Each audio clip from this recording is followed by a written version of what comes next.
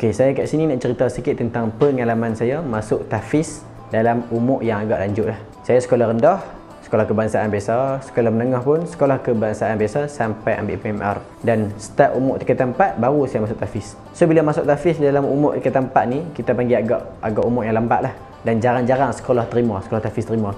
Dan Tambahan pula, saya masuk tahfiz pada tingkatan 4 tu dalam keadaan kosong. Tak reti baca Quran, tak reti baca Iqra, tak reti tak kenal huruf hijaiyah.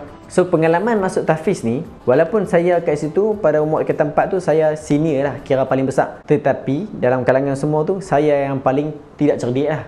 Paling, tak pandai tu bahasa kasar dia paling bodoh lah. Orang lain belajar, belajar lain pun jah 5, jah 6, form 1, form 2, semua mudah tetapi bijak pandai dah. Ada yang reti normally semua reti baca Quran ada yang lebih hebat dah mula hafal so kita dalam keadaan tu kita yang paling low lah. Sampai ada seorang budak dia tanya abang takkan dekat tempat tak reti baca Quran lagi? Kita pun sengih-sengih gitu dan dia kata Allah malu lah. Abang mesti dulu kuat penting lah. Memang betul dia kata tu. Saya dulu waktu mau hantar pergi kafar, ponting. Mau hantar pergi sekolah mengaji, kita pergi sisi.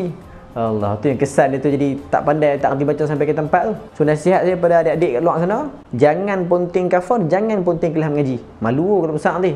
Okey, balik pada pengalaman tafiz tadi. Pengalaman saya waktu duduk tafiz tu memang 44 hari tu yang pertama tu memang sangat-sangat mujahadah lah sebab tu adab orang yang mengaji tafiz ni kebiasaan 44 hari pertama tu memang kita tak bagi keluar langsung kita akan kurung mereka mak ayah tak boleh melawat duduk mengaji sungguh-sungguh sebab apa sebab ujian pada 44 hari pertama tu memang sangat-sangat tinggi. Kita akan jadi rindu kat rumah, teringat kat mak ayah macam-macam. Saya punya punya rindu lah kat mak ayah ni tak tak nak abang lah.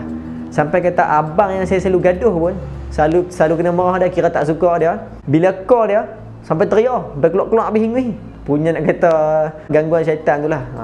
sebab tu kalau boleh orang yang duduk tafiz ni 44 hari pertama tu jaga sungguh-sungguh waktu kat tafiz tu saya setiap hari pada 3 bulan pertama tu setiap hari saya kena denda dan juga kena rotan wajib setiap hari mesti muka saya kena sebab apa? sebab tak reti baca sebab tak dapat hafal yalah kita masuk waktu umur dah lanjut so otak kita ni dah banyak main banyak merapu otak tu dah kata benar lah na'udzubillah dan Kena rotan tu jangan katalah macam merata tempat kena tapak tangan, betih, tapak kaki, tengah belakang, kira semua sakit lah. Dan denda tu macam-macam denda kena. Kami lu kena ketuk lambi bukan sikit-sikit, main, main, main ratus-ratus. Tetapi sepanjang kena denda tu, sikit pun saya tak rasa itu satu dendaan ataupun satu deraan. Just kita tahu benda ni Uh, deraan ni, rotan ni semua untuk tambah kesemangat kita. Saya rasa kalau waktu tu saya tak kena rotan, kira saya main banyak. Kira lagi lambat saya keluar.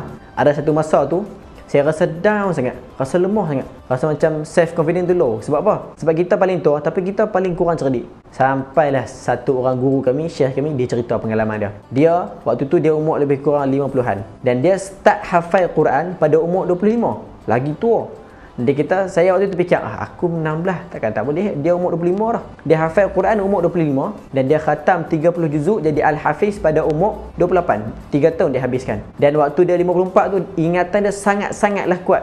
So pengajaran poin kat sini saya nak cerita ialah kita ni kalau kita ada target atau kita ada cita-cita satu benda tu tak kira umur kita lanjut macam mana pun bila kita usaha sungguh-sungguh pasti kita akan dapat usaha, doa, tawakal dan buat dengan sesungguh. Pasti Allah akan beri. Jangan jadikan alasan usia untuk tak buat sesuatu. Semoga bermanfaat. Assalamualaikum warahmatullahi taala wabarakatuh.